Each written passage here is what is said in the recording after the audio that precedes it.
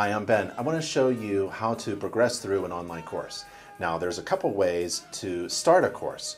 I'm logged in as Alicia, one of our members, and I simply scroll down to the certification dashboard to get to the available courses. Let's click Safe Practices for Home Inspectors course.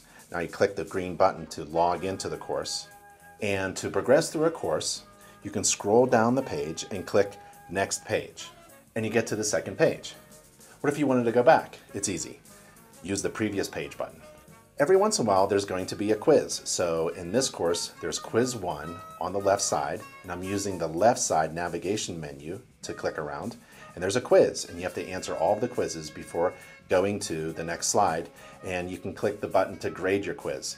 Final exam. Every online course has a final exam. Let's jump to the final exam.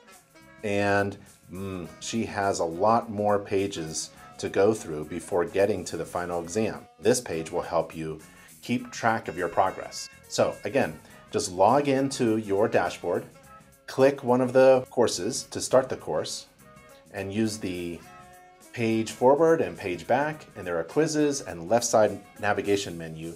And also, it's free unlimited access to all of our courses, and you can pop in and pop out anytime you want, and it will remember where you left off have fun taking our online courses.